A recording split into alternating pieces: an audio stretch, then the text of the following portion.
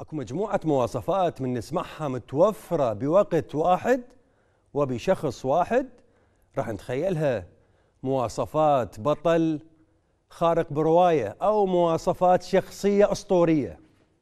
لكن بالعراق راح تسمع عن مواصفات مثل اللياقة البدنية العالية الخلق والصبر الطويل قدرة تحمل الحرارة والبرودة التمدد والتقلص التواجد في أكثر من مكان بوقت واحد وقدرة تحمل الصدمات. وغيرها من المواصفات كلها تكون لازم متوفرة ويحتاجها المواطن العراقي حتى بس يقدر يكمل معاملته بدوائر الدولة.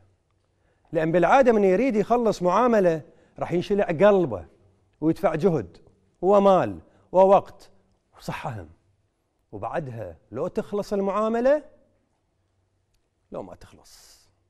هذا المضحك المبكي يخلينا نوقف عند هاي الحقيقة وهي أنه إنجاز المعاملات في أي بلد بالعالم معيار رئيسي لمستوى الخدمة بالبلد واهتمام الدولة بالمواطن أو العكس.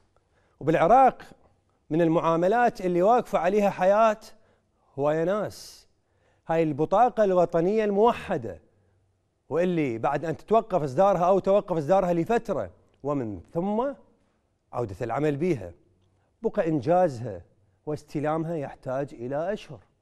زين المواطن شنو ذنبه؟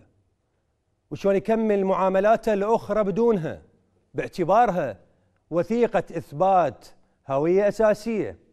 وليش مضطر؟ هالقد ينتظر؟ واللي واللي عنده حالة طارئة إيش راح يسوي؟ من السبب وليش؟